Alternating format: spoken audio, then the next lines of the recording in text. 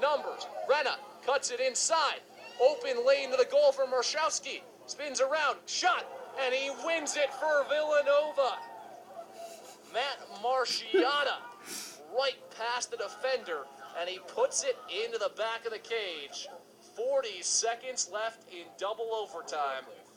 And Syracuse loses 1 0.